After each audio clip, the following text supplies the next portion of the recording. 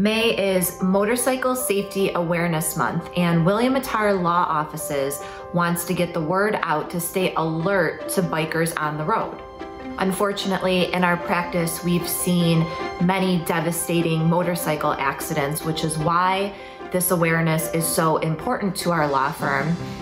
Motorcyclists tend to sustain very serious injury due to lack of protection that you would find uh, with a vehicle, such as steel frame and airbags. There also tends to be a rise in catastrophic accidents with the nicer weather. So this is a great time to remind everybody that we need to stay alert and we need to avoid distractions while driving. We have put together some tips and information to keep everybody safe this motorcycle season. Um, you can go to williammattar.com to view that information. Some important things to keep in mind are be aware of your blind spots, especially when making turns.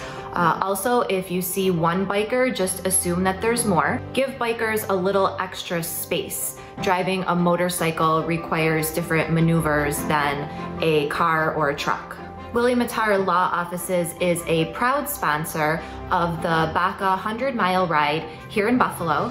For anybody who's not familiar with BACA, this stands for Bikers Against Child Abuse, and their mission is to create a safer environment for abused children, uh, working together with state and local officials to keep these children safe. The 100 mile ride will take place internationally on Saturday, May 15th. So here in Buffalo, the ride will start at Buffalo Choppers and end at Sheehan's. For anybody that wants to help support this amazing organization, you can go right to bacaworld.org and search the Buffalo chapter. For more information on anything we talked about today, go to williammattar.com or give us a call at 444 4444.